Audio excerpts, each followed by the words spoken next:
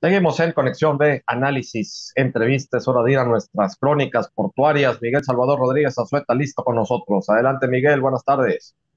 Jorge, muy buenas tardes. Pues continuando con los temas que nos atañen en la parte ambiental y en la parte del desarrollo económico en los puertos, eh, hay un dato que quiero comentar con, con ustedes sobre la posibilidad de que se incrementen las tarifas eh, por los cumplimientos de las normas ambientales.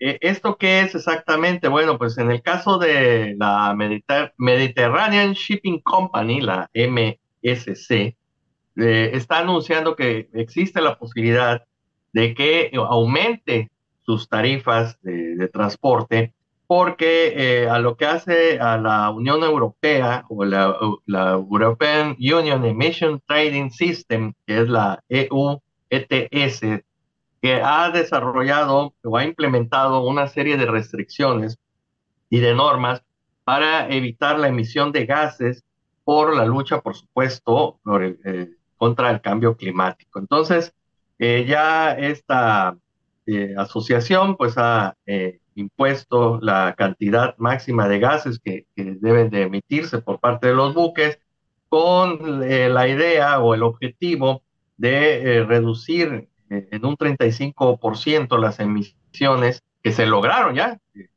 entre 2005 y 2019, pero eh, está proponiendo que se reduzcan para el 2030 en un 55% y para el 2050 que haya cero emisiones, Jorge.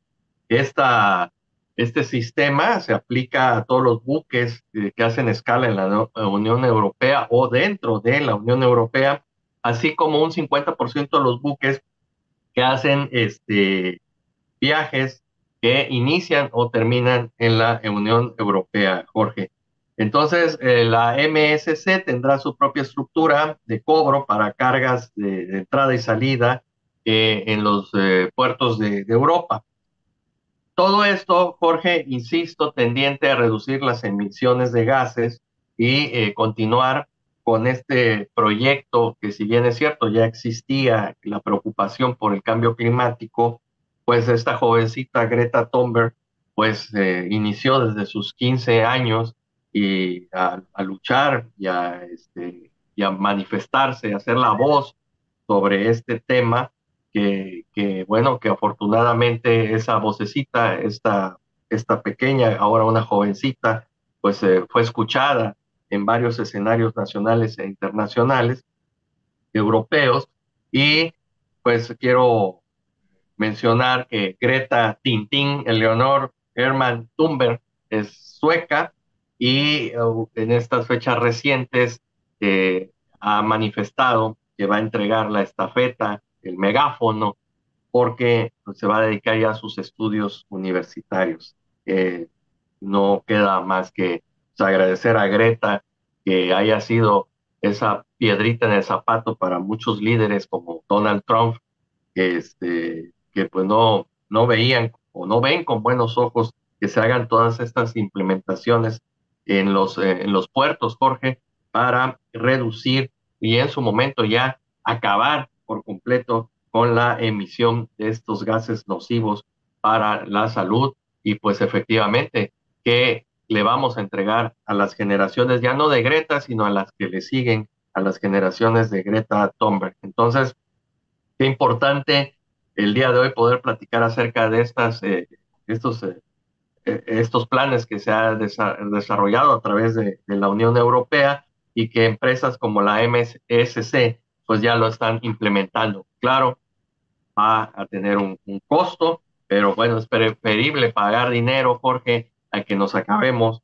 el planeta de aquí al 2050, que parece muy lejano, Jorge, pero que el día no menos pensado ya estará aquí con nosotros y podemos darle buenas cuentas a nuestros nietos, Jorge.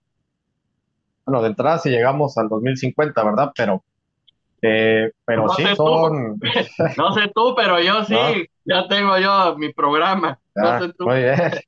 Pues muy bien, pero sí, estamos, estamos hablando de 28 años que, que, bueno, pues no, parecen muy lejanos, pero por supuesto que no, es un futuro inmediato.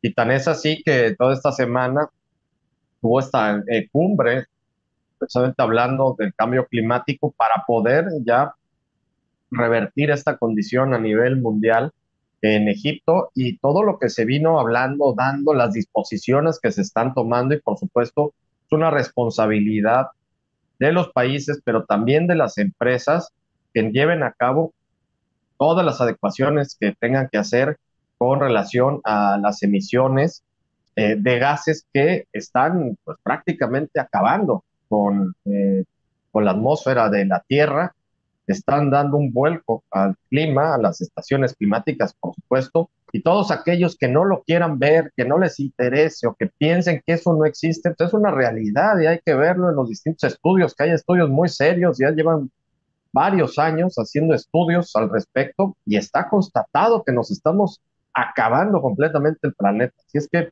eh, pues es un, buen llamado, sin duda alguna, y también, eh, pues hay que hacer notar que aquí, por ejemplo, en Veracruz, también la responsabilidad que tiene Hutchinson Port, si cabe, con relación a, a todo lo que va implementando precisamente para esto, para mitigar los impactos ambientales que puedan existir con relación a, pues, obviamente, a todas las labores que llevan a cabo.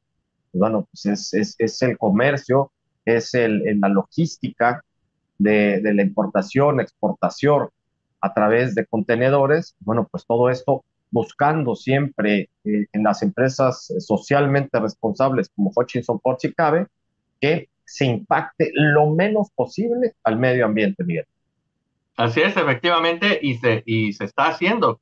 Claro, tiene su costo, pero es preferible pagar un, aumento, que estamos hablando de dinero, a, eh, a, comprometer a las futuras generaciones.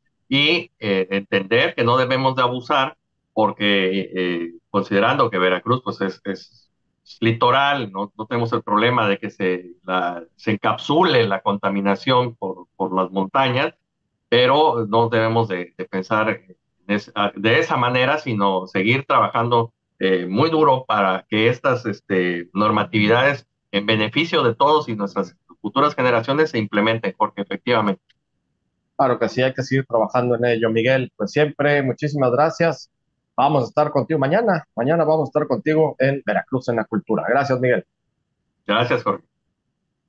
Muchas gracias a Miguel Salvador Rodríguez Azueta en nuestras crónicas portuarias. Vámonos al corte, volvemos.